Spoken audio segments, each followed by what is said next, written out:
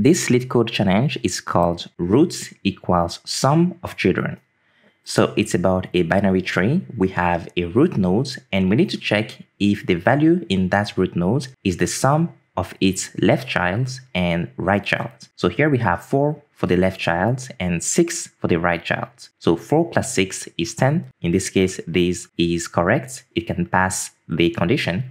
So we have to return true in this case. Otherwise, we'd return false. So here is one example where we have to return false the root node is 5, but the child nodes are 3 and 1. So if you add up these two values, you get 4, and therefore we have to return false, because the root node is not the sum of its left child and right child. So now this is the code that we have in the text editor. This is my solution. According to them, the tree consists only of the root nodes as well as the left child and the right child. So we are sure that this is not going to be a null value. Therefore, I'm not adding any if statement to check if this is a valid node or not. Rather, I can run my small computation here. So I have the value for the root here, and I'm checking is that value for the roots equal to the value of the left child plus the value of the right child.